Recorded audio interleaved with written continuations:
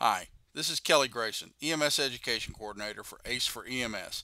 I'd like to spend a moment to tell you about our EMT and AEMT classes. Back in 2002, EMS educator David Page described the current state of EMS education as the students of today attending schools of yesterday being taught by teachers of the past with methods from the Middle Ages and asked to solve the problems of the future. Sadly, little has changed in EMS education since 2002. Even with the adoption of the National EMS Education Standards, many EMS education programs are still trying to solve the problems of the future with education methods from the Middle Ages. At ACE for EMS, we hope to change all that. By harnessing the power of the internet and using the latest educational theory and technology, we aim to make our classes enjoyable and educational based upon the latest materials and evidence-based medicine. So how do we do it? By adopting a hybrid flipped classroom concept. Hybrid classes are a combination of self-directed online learning and the traditional classroom environment. We realize our students are busy people, and many don't have the time to devote to traditional regularly scheduled classes. Our classes allow students to focus on knowledge acquisition at home through self-paced study assignments, and in the classroom, we focus on skills practice and integration of that knowledge into practical scenarios.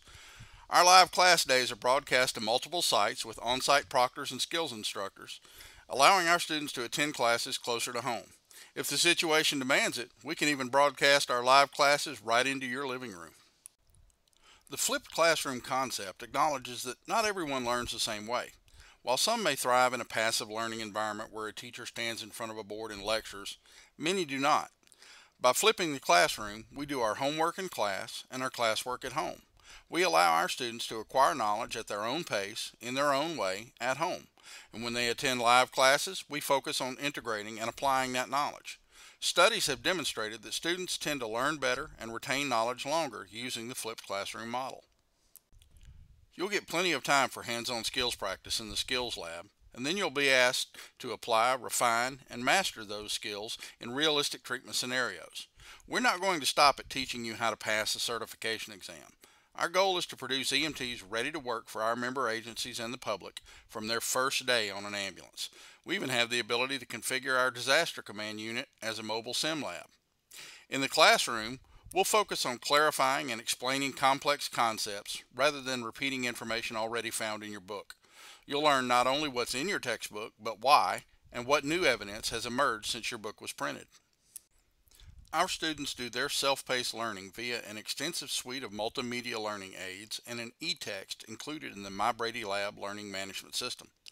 MyBrady Lab will automatically customize your study plan and homework assignments based on your knowledge of the material until you've achieved complete mastery. Even better, you don't have test days, you have test weeks. Our assignments generally have a week-long window to be completed and you'll know immediately how well you scored.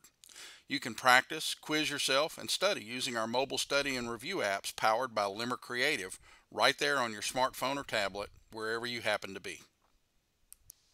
To enroll in our courses, you'll need to complete the application on our website, louisianaambulancealliance.org.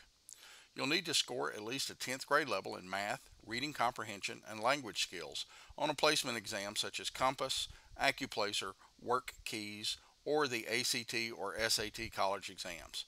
To find out which exams are available near you, check with the registrar at your closest university or Louisiana Community and Technical College. You'll need to be 18 years or older with a high school diploma or GED.